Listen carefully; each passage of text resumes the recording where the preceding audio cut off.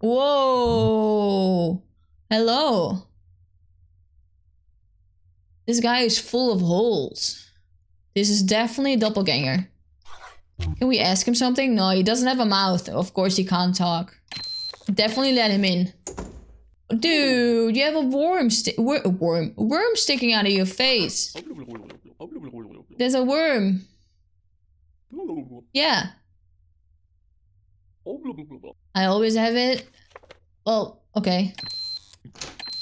I think it's fine. If you want a worm in your face, you can have a worm in your face.